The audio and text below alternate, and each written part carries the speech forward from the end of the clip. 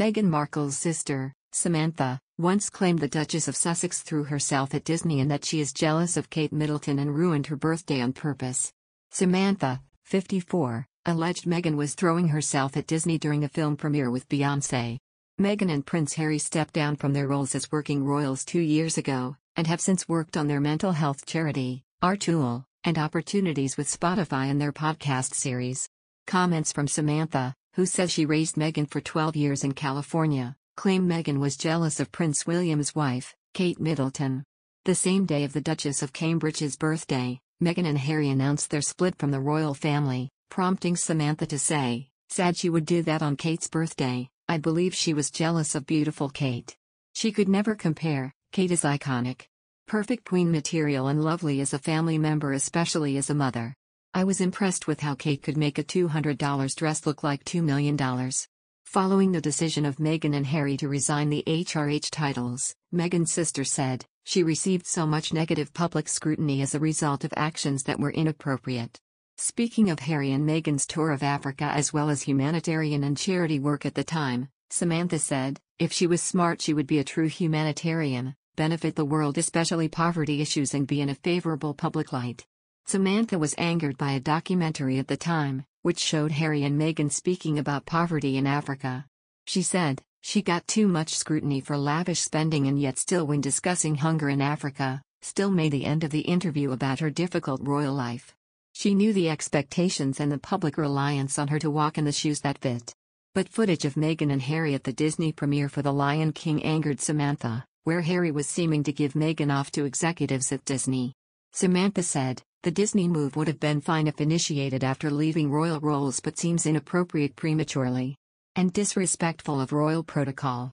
It's like cheating on a spouse and giving a phone number for a dinner date before being divorced. The former model added, she kept her agent and manager and might have landed a Disney deal. It seems that the British royal family were a launchpad for high places then suits couldn't get her. Meghan and Kate, Duchess of Cambridge, first met in early 2017 at Kensington Palace, just over a year before Meghan and Prince Harry tied the knot at Windsor Castle. It did not take long before rumors of a chasm opening up between the sisters in law began to hit the headlines. However, Graham Smith, CEO of anti monarchy campaign group Republic, claimed that the Sussexes' dramatic departure from the firm was not solely down to the sister in law rift, but to the monarchy's inability to adapt. He told, it shows that they struggle to accept anybody into the family from outside, unless they are willing, as Kate has been, to completely subsume themselves to pre existing ways of behaving. He claimed the Sussexes' new way of operating, away from the confines of the royal households, showed the royal family to be dysfunctional and incapable of being flexible or changing.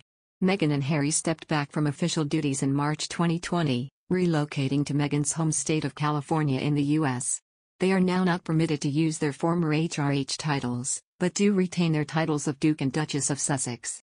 On the Royal Rift, Tom Quinn, the author of Kensington Palace, an intimate memoir said, Meghan and Kate initially got on very well but they are very, very different.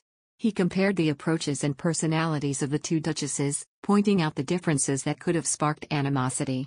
Kate wants to do things quietly, she wants to obey the rules, she takes advice, Meghan is a much more strident character who wanted to do things her way, so this caused a rift. The Sussexes moved out of the accommodation they shared with the Duke and Duchess of Cambridge in Kensington Palace by the end of 2018. Rumors then emerged about Meghan allegedly making Kate cry in an argument over dresses for the royal wedding. Meghan addressed the claims in her now infamous Oprah Winfrey interview, saying the opposite was true and it was the Duchess of Sussex who had broken down in tears. She said, the issue was correct about flower girl dresses, and it made me cry and it really hurt my feelings. I thought in the context of everything else that was going on in those days leading to the wedding that it didn't make sense to not be just doing what everyone else was doing, which was try to be supportive, knowing what was going on with my dad and whatnot. She added that she didn't think it's fair to dig into the details of the spat, but that she maintained her opinion of Kate as a good person. In the interview, Harry claimed that Prince William and Charles were trapped within the system, and Meghan described how she struggled so much with her new life within the firm that she didn't want to be alive anymore. Mr. Smith said, A lot of what Meghan and Harry said in that interview last year rang true for an awful lot of people.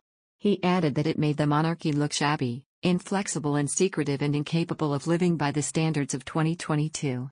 Last year, Royal expert Emily Andrew suggested that Meghan had hoped to be welcomed with open arms by her sister in law, who would sympathize and understand the process of slotting in among senior royals. Speaking during Channel 5's documentary, Meghan at 40, Ms. Andrew claimed, Here were two women, both outsiders, marrying into the royal family, living on the same complex at Kensington Palace, of course, they'd be besties. She continued on to say that this was likely Meghan's expectation to have a confidant who knew the challenges she was facing and offer advice to power through the difficulties. She said, Actually, that's what Meghan felt. She confided in a number of her friends that she hoped Kate would help her adjust to royal life, but the cracks started to show pretty early on. Behind the scenes, Meghan was feeling a bit rebuffed. I'm not sure whether Kate ever realized